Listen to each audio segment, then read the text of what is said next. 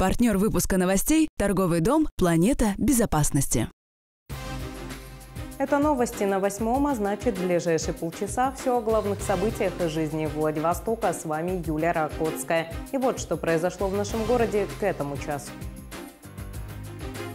Дороги не доделали, а снег уже выпал. Жители Владивостока переживают за сроки ремонтов городских трасс.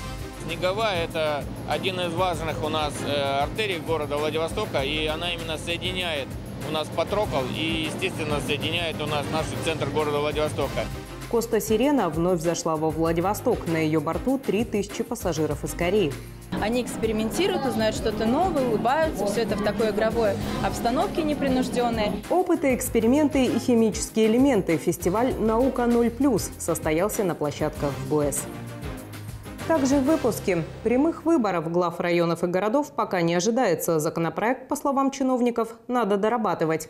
И еще расскажем, Владивосток вошел в десятку перспективных городов по версии Forbes. Но об этом немного позже. А сейчас о главном. Прямых выборов мэра в крае пока не будет. Профильный комитет законодательного собрания Приморья поддержал предложение властей региона не рассматривать законопроект об их возвращении. По мнению администрации Приморья, вопрос о возвращении прямых выборов глав городов и районов требует дальнейшей доработки. Это связано с вводом нового вида муниципального образования – муниципальных округов. Сейчас в крае идет работа по преобразованию нескольких муниципалитетов в муниципальные округа, после чего предстоит сформировать органы власти этих территорий, что также повлечет значительные финансовые затраты. Напомню, ранее Заксобрание Приморья в первом чтении приняло законопроект о возвращении прямых выборов. Продолжить работу над документом депутаты планировали в 2019 году. Отмечу, прямые выборы не проводятся с ноября 2014 года. Во Владивостоке в ночь на понедельник выпал первый снег. И горожане беспокоятся, успеют ли дорожники восстановить дорожное полотно до морозов. Утром было затруднено движение по четырем дорогам, где торопятся с ремонтом. Это проспект Столетия Владивостока, улицы Стрелковая и Снеговая, Партизанский проспект. Именно здесь с проверкой побывал глава города Олег Гуменюк. Рабочая группа в ходе рейда выяснила, успеют ли дорожники закончить ремонт заявленные сроки. Подробности у Катерины Матвеевой. Снеговую закатают в асфальт. Участок длиной в 3,5 километра будет отремонтирован на деньги Министерства Российской Федерации по развитию Дальнего Востока. Эта дорога не видела серьезного ремонта долгие годы, и многочисленные жалобы горожан тому подтверждение. Ой, да, Снеговая – это один из важных у нас э, артерий города Владивостока, и она именно соединяет у нас Патрокол и, естественно, соединяет у нас наш центр города Владивостока. И здесь подряд компании э, должен закончиться по расстоянию около 3,5 километров. Это у нас где Тавму, наш, э, наше училище, высшее военное командное училище. Э, ливневку наполовину сделано, это около двух километров, чуть меньше не сделали. Но 7 вчера они плохо работали, потому что у них, говорят, они как проблемы с заводом. Но это опять еще раз, это не говорит о том, что контракт будет сдвинут из-за того, что завод не работает. Это ответственность, прежде всего, э, подрядчика. Еще одна дорога, давно нуждавшаяся в ремонте, улица Стрелковая, соединяющая Воропаева и Ватутина. Дорогу на время перекрыли, чтобы дорожные работы не мешали движению транспорта. Систему ливневой канализации здесь уже прочистили и почти полностью отремонтировали. Покрытие верхнего слоя, протяженность участка 4,5 тысячи квадратных метров. Работают 12 э, э, человек, плюс э, в районе 20 единиц техники. Вот, планируем сегодня закончить этот участок. Участок проспекта Столетия Владивостока в районе остановки Постышева также в перечне осенних работ на средства Минвостокразвития. Ремонт здесь специально проводят ночью, чтобы трасса могла функционировать днем. Впрочем, и вечером здесь немало машин, поэтому подрядчики пообещали поторопиться. Уже идет э, шима, слой тот, который верхний, второй слой, где мы видим, э, даже позаботились о том, чтобы был переезд ровный. Мы только что подъехали, где видно качественный подход к рельсам. Здесь уже до столетия э, сделана уже дорога полностью э, в том слое, котором она должна быть использоваться. Сейчас будет рядом второй слой. Эта дорога будет идти до путепровода. Да, Некрасская путепровод, где у нас эта дорога будет двух сторон отремонтирована и будет примыкать как раз дороги та, которая отремонтирована была раньше и находится в хорошем состоянии. Аварийно-восстановительный ремонт на односторонние дороги ведут и по Партизанскому проспекту. На участке от Некрасовской развязки до Дворца культуры железнодорожников работают 6 единиц спецтехники. Все дорожные работы должны быть завершены до наступления холодов. За качеством ремонта обещают пристально следить специалисты администрации Владивостока. Катерина Матвеева, новости на восьмом. Тем временем Владивосток оказался в десятке самых перспективных городов России по версии журнала Forbes – в рейтинг вошли населенные пункты, совершившие за 10 лет заметный скачок в урбанистике, культуре и качестве жизни. Столица Дальнего Востока оказалась на пятой строчке после Нижнего Новгорода, Санкт-Петербурга, Казани и Екатеринбурга. Авторов рейтинга привлекла во Владивостоке прежде всего работа в области культуры. Среди достоинств активная работа по созданию международных арт-резиденций, сотрудничество с иностранными искусствоведами, а также выход отечественных художников на выставки международного уровня. Так, в обосновании отмечено, что музей Арсеньева активно работает с локальным контекстом, дальневосточными художниками и развивает паназиатские партнерства. Центр современного искусства «Заря» организует международные арт-резиденции, в рамках которых художники исследуют местный контекст, а проекты художников потом оказываются в том числе и в парижских галереях. Кроме того, Forbes акцентировал внимание на работе архитекторов «Конкрет Джангл» – самый романтичный проект бюро «Семь сопок» Владивостока. При этом на этот раз при составлении рейтинга не уделяли внимания другим аспектам из жизни города, как это делал, например, финансовый университет при правительстве России. Тогда при составлении рейтинга «Качество жизни населения» Владивосток был на 13 месте с конца из-за проблем в сфере медицины, а также качества дорог и услуг ЖКХ. Также исследования о качестве качестве жизни в регионах в феврале этого года опубликовала РИА Рейтинг. Приморский край не попал в десятку лучших, а оказался на 50 месте. В минувшие выходные приморская столица продолжала наращивать научный потенциал, проверять качество питьевой воды, пройти мастер-класс по каллиграфии или изучить смарт-технологии в лаборатории «Умный город» смогли жители Владивостока. В Авгуэст прошел ежегодный фестиваль «Наука 0+.» Подробности в следующем материале. На фестиваль «Наука 0+,» съехались разработчики, ученые и гости из самых разных уголков Приморья. Кто-то предлагает поиграть на овощах и фруктах в буквальном смысле, а кто-то организует настоящий аэродром в стенах университета, а кто-то предлагает попробовать свои силы в химических экспериментах.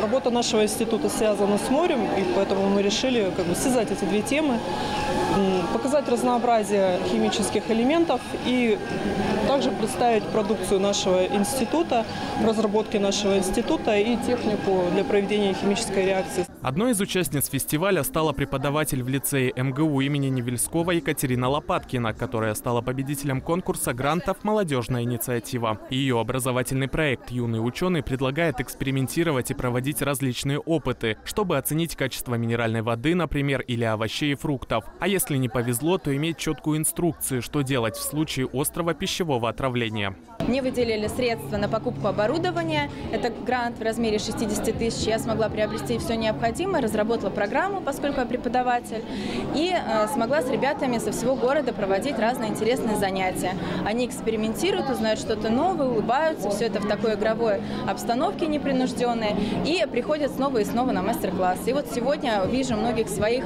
можно сказать, учеников, выпускников, да, которые пришли сюда на площадку.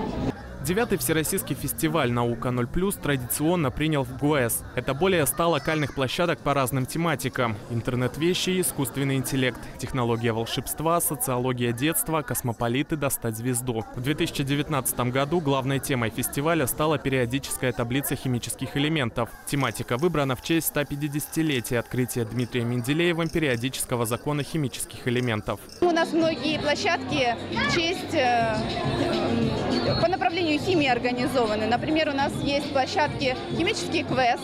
Его подготовили студенты по рекомендациям как раз московских химиков. Изучили всю их лабораторию и представляют нашим детям возможность поучаствовать в различных экспериментах.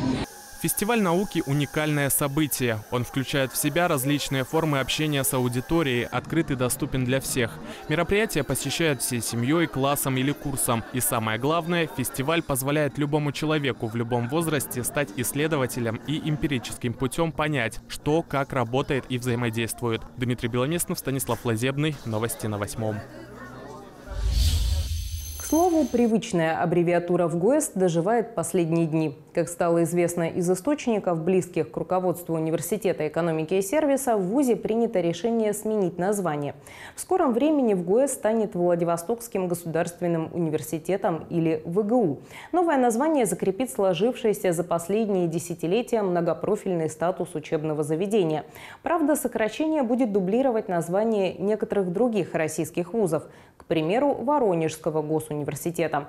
Напомню, во Владивостоке есть и свой МГУ – Морской государственный университет. В ГОЭС до своего переименования в 90-х годах был известен как Дальневосточный технологический институт бытового обслуживания – ДВТИ. Он был открыт в 1967 году.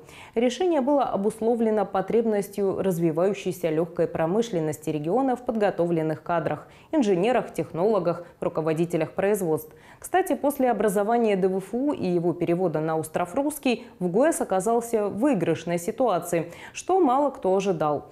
Нерешаемые годами транспортные проблемы и сложная ситуация с общежитиями на острове, а также достаточно демократичные условия учебы заставили многих преподавателей и студентов выбирать именно в ГУЭС.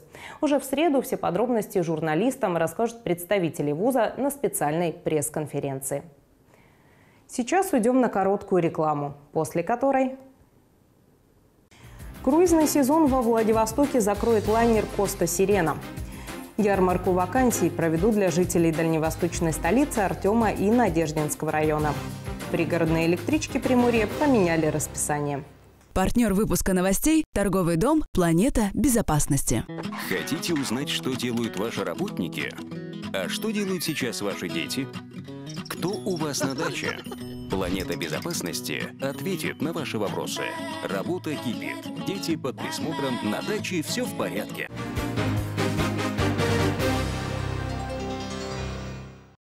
Сегодня с вами Юлия Ракотская, и мы продолжаем. Круизный сезон во Владивостоке закроет лайнер «Коста Сирена». Ярмарку вакансий проведут для жителей дальневосточной столицы Артема и Надеждинского района. Пригородные электрички Приморья поменяли расписание. Ярмарка вакансий пройдет во Владивостоке 17 октября. Приморский центр занятости населения приглашает на нее жителей дальневосточной столицы, а также Артема и Надеждинского района. Свои вакансии предложат более сотни работодателей края. Это крупные банки и страховые компании, торгово-розничные и строительные предприятия, учреждения социального, медицинского обслуживания и другие. Безработным предложат около двух с половиной тысяч свободных мест. Ярмарка пройдет 17 октября с 10 часов до 13 в здании Владивостокского цирка по адресу Светланская, 103. Традиционно все гости смогут посетить бесплатные мастер-классы от экспертов в области подбора персонала. Приглашенные предприниматели и психологи расскажут, как правильно составить резюме, успешно пройти собеседование и быстро адаптироваться в коллективе. Также можно будет получить направление на бесплатное профобучение или от открыть собственное дело при поддержке из краевого бюджета в рамках национальных проектов. Одной из площадок мероприятия станет экспресс-биржа труда. Здесь работодатели предложат варианты быстрого трудоустройства для тех граждан, которые нуждаются в срочном заработке. Еще раз напомню, ярмарка вакансий пройдет 17 октября в здании Владивостокского цирка.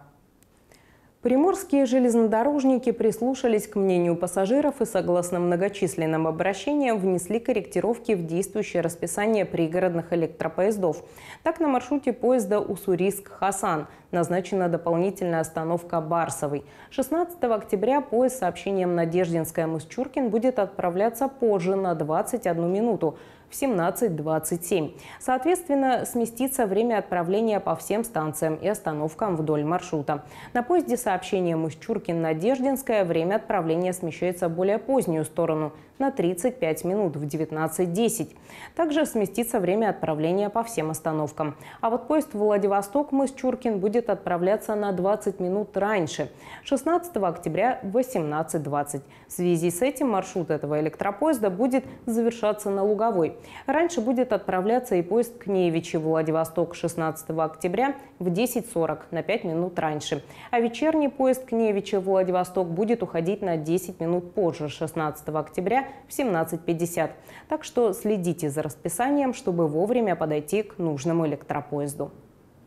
И далее к новостям спорта. Спидвейный клуб «Восток» в пятый раз стал чемпионом России. Футболисты «Луча» проиграли худшей команде чемпионата. «Адмирал» продлил свою победную серию до шести матчей подряд. Подробности расскажет Максим Яковлев. Спидвеисты Востока стали чемпионами России. Решающая гонка командного чемпионата страны проходила во Владивостоке на стадионе «Авангард». Хозяевам в финале противостояла тольяттинская «Мегалада». Зрелищная гонка мастеров, завершающая сезон по всей стране, собрала несколько тысяч зрителей. 15 заездов держали в напряжении на протяжении двух часов. Команда «Восток» захватила лидерство с самого первого заезда и в итоге подтвердила ожидания болельщиков. Со счетом 63-28 приморцы разгромили «Мегаладу». Таким образом, Владивостокский клуб стал пятикратным чемпионом России. Награды нашим гонщикам вручал губернатор Олег Кожемяка, который напомнил о масштабной реконструкции стадиона «Авангард», которая завершится к 2021 году. После обновления всего объекта местный спидвей станет еще более зрелищным и популярным.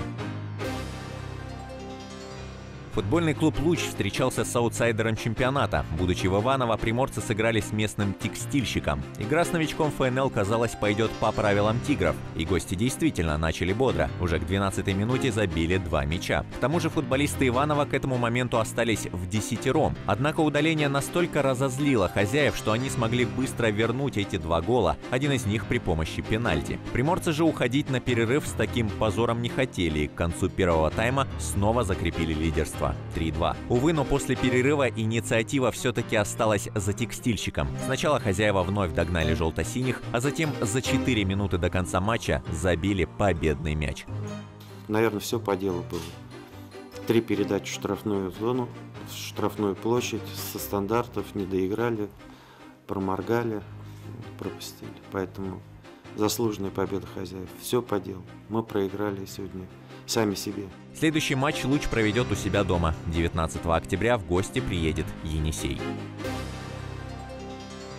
Хоккеисты «Адмирала» одержали шестую победу подряд. Приморцы продлили выигрышную серию в выездном матче с Челябинским «Трактором». Игра между этими командами была принципиальной, потому как они находятся рядом в турнирной таблице. «Адмирал» открыл счет уже на 20-й секунде. За быстрым голом последовали почти 20 минут тишины. И только к концу периода моряки увеличили отрыв. Правда, во втором и третьем периодах «Трактор» отыграл лучше и смог вернуть равный счет на табло 2-2. Ни концовка, ни овертайм победителя не выявили. Судьбу матча в итоге решали булиты. В них-то адмирал и оказался удачливее. После очередной победы моряки закрепились на шестой строчке в чемпионате. От тройки лидеров приморцев отделяет всего три очка. Максим Яковлев, новости спорта на восьмом. И напоследок еще раз коротко об основных событиях во Владивостоке. Дороги не доделали, а снег уже выпал. Жители Владивостока переживают за сроки ремонтов городских трасс.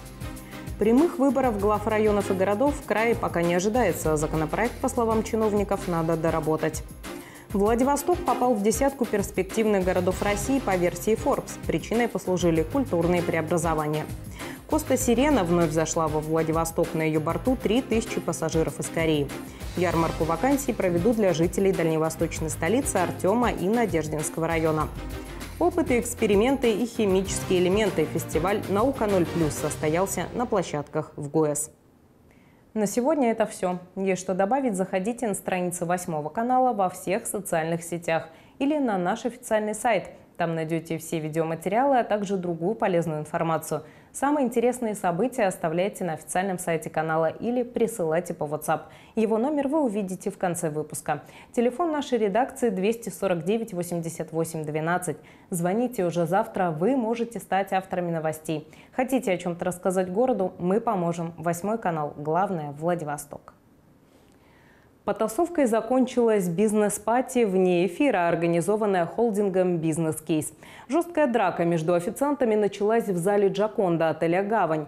Во время презентации трех ресурсов – радио Лемма, BBC и Восьмого канала – молодые люди повздорили. И тут же, не дожидаясь окончания вечеринки, пустили в ход руки и ноги. Участники, представители холдинга и рекламодатели не могли понять, что это – бои без правил или оригинальный флешмоб. Группа «Радиобенд» и ведущий шоу не растерялись и подзвучили драку. Так что же это было? Инцидент или оригинальный элемент шоу? Решайте сами. Смотрим вместе без комментариев. Сразу после прогноз погоды. С вами была Юлия Ракотская. Увидимся на восьмом. Много чего происходило вот здесь у нас. Э, э, много у нас чего происходило. Вот. И будет, скорее всего, происходить на радио... Э,